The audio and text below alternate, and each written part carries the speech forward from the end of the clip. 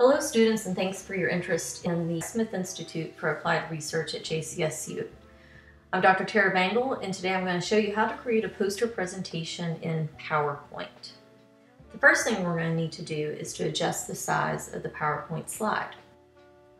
Okay, now I'm using a Mac version so the window version might look slightly different, but I'm going to come here to the Design tab, click on that, and over here on the far right I can adjust the si slide size, selecting page setup. I'm gonna make it 48 inches wide by 36 inches tall. And this is the standard size that's used at most, uh, most academic conferences. Um, so by using this size today, you will be able to later print your poster if you're interested in that.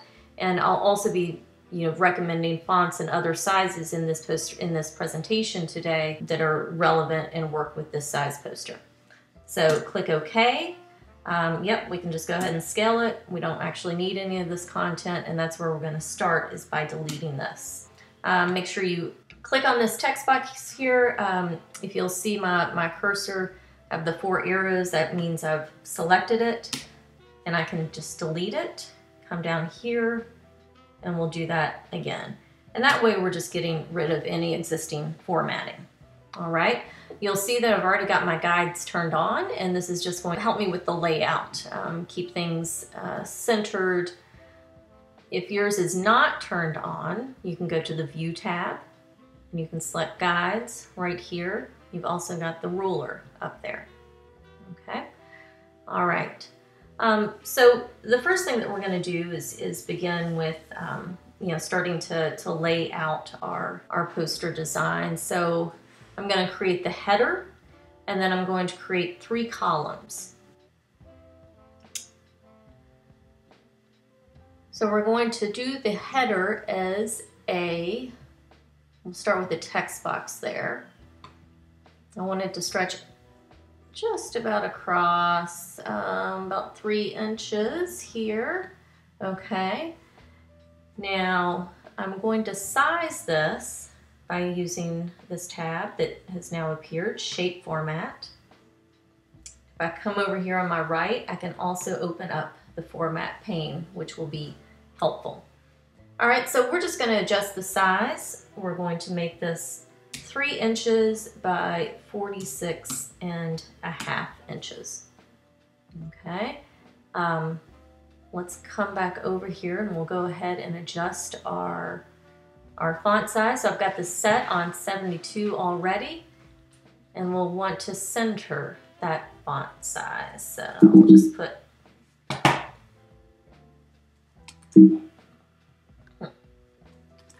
there we go, title uh, 72 point. You do want to use sentence case here. All right, that's capital capitalizing the first letter and, and other proper nouns in your title. Hit enter, and here you're going to insert your name, but we're going to do this at a smaller size font. see what happens with 48. Name and institution. Okay. All right. Now I'm going to add my columns. So I'm going to insert shapes here. We're going to make this a, a basic rectangle. And I'm going to start with my center column. Okay. So we're going to make these columns.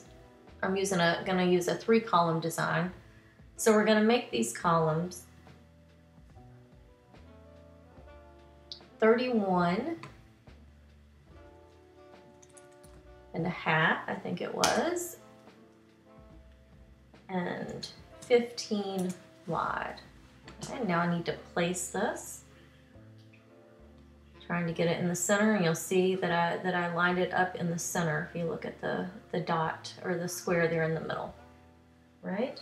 I'm gonna bring it down just a little bit.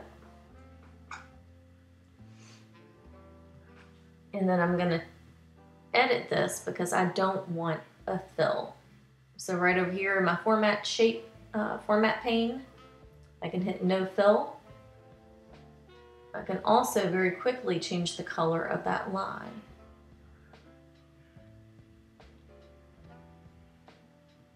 So why don't I just set that to black? All right.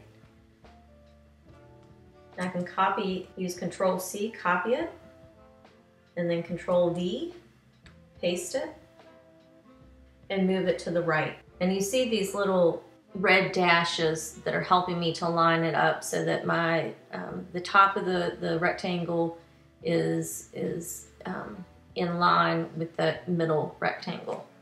All right, Control V, I can paste another one. I'm gonna do the same thing, um, making sure that my spacing looks fairly even, and then I can release. All right, I want to do a little bit of formatting on this, this header up here. So I have the option, again, these the format shape options popping up. So see that no line is selected, so let's do solid line. Looks like it's default on black there. I'm gonna go back to that dark blue color and I can also edit this shape. Let's round it a little bit. Okay. All right, so I'm taking a moment, looking at my layout. I'm pretty satisfied with it. Looks like these can come up just a tiny bit. Select all of them, use my cursor to move them up. That I've created my overall layout, I can begin to add some of the content. So I'm going to have subheadings or headings for each of my, my sections, you know, beginning with my abstract. So to do that, we're just going to create another text box. Okay, I'm going to place that right about here. Okay, I'm going to go back into my shape format. I want to adjust the height of it. So this is going to be 3 quarters of an inch by 14.5 inches. And so this will size nicely within this, this larger rectangle here. Okay, let's go ahead and change the color of this. Uh, notice I can do it from, from here. Okay, I can make it dark green. Actually, let's, let's keep with this blue that I used up there make it dark blue. Remember, I can also do this, make these changes over here as well. Now we're gonna adjust our text size. Coming back to home.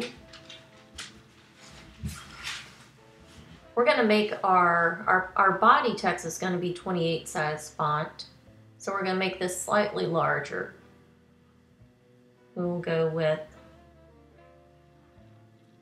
36. Let's make it white so we'll be able to see it.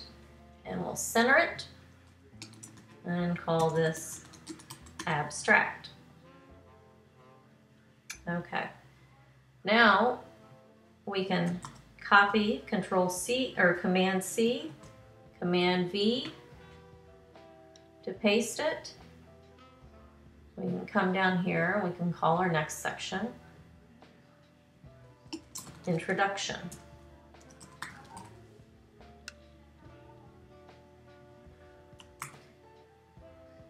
Command C and Command V again to paste. And we're going to put our research statement. Might be a research hypothesis, might be a research question, uh, depending on your depending on your discipline. And then it is possible that you'll also have a section called study area. So you might need to you might need to just um, you know describe if you're focused on a case study or um, research in a particular neighborhood. You might need to describe that that area. We need method section.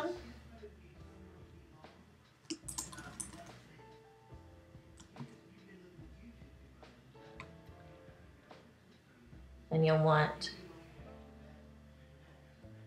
results.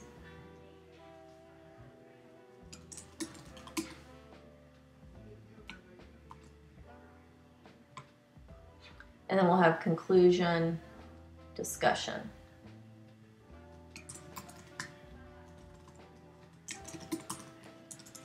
Conclusion and discussion. These could be two separate sections.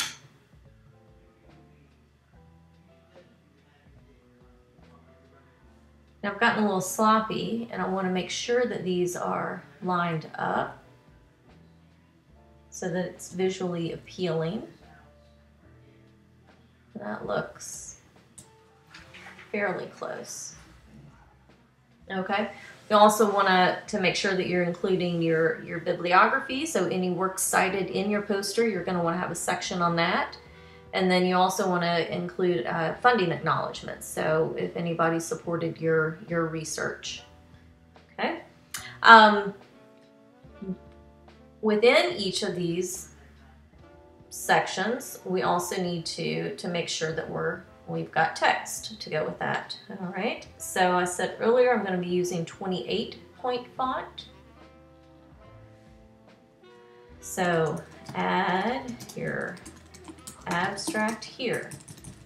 Okay, and you'll just do the same thing. You'll just, you know, again, copy, paste, and add this text box under each of your sections. Making sure again that you're, you're formatting, you're lining that up, um, you know, consistently. Right, so the final thing that I'm gonna show you how to do is, is how to add um, some graphics. Uh, so one thing that everybody's going to want to include is the JCSU logo, which is available in the OneDrive folder.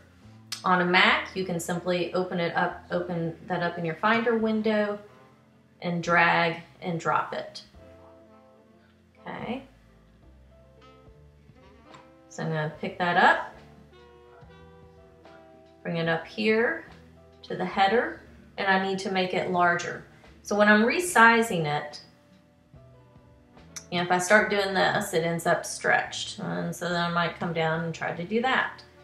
Okay, that's not how you want to do it. If you hit shift and drag from the corner, it's going to scale it and enlarge it for you. There's also the option, you can do it just like we did um, you know, with the with the text boxes, see how we're in picture format here and we can adjust the shape over here. If this box is checked, that's keeping the this ratio the same. So it's scaling it as it enlarges it. Okay. Put that at about two inches there, looks pretty good. We can also add a picture by coming over here. We're at the Insert tab. Go to Picture from File, we can browse right here. Okay, and same, same process there, same effect. Okay, um, your methods section is the place where you might want to include some smart graphics. So we're going to go to the Insert tab. We're going to go to Smart Art. And with, a, with my methods, I want to show a process. Okay, so I've got a lot of options here. I'm just going to choose this basic process. Okay. And then I'm going to you know, put in whatever my step one was. Step two. And step three. Okay. Now I'm going to want to resize this, recolor it. So I'm going to come over here to the corner. I'm going to push shift so I'm not adjusting the the, um, whoops. Ah, so you gotta make sure that you're grabbing on the outside. So I'm just gonna hit Command Z to undo that. Okay, come in here, making sure that I'm grabbing the whole box. And this is still really large. So I'm gonna wanna size it more, make it even smaller. There. Oops. Again, make sure you're grabbing the Smart Art box.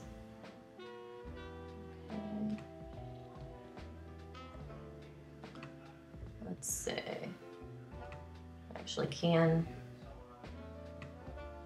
I've got, got it the width. I can adjust it this way. Got it on the outside. I'm just going to move it up. Okay. So we can also use our Smart Art Design and Format tabs up here uh, to change the color of this. So we go over here to fill.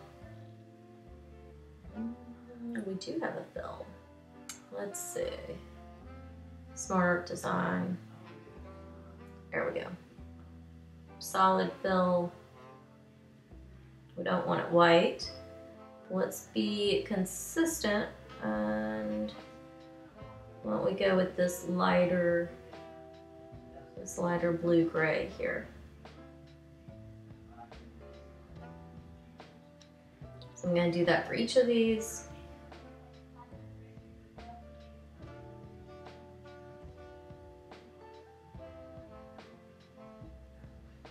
You can also click on your arrows and do the same thing to change that coloring.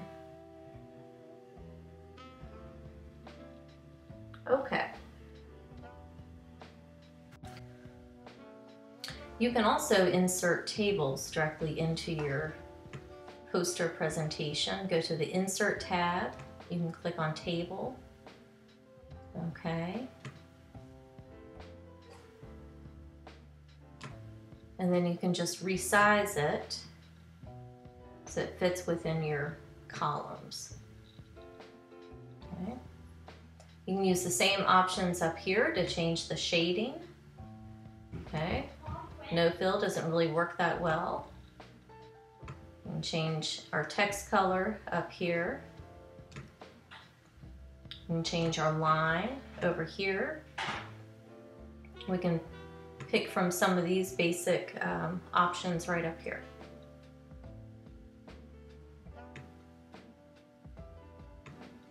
You're also able to um, insert, oh, let me get off,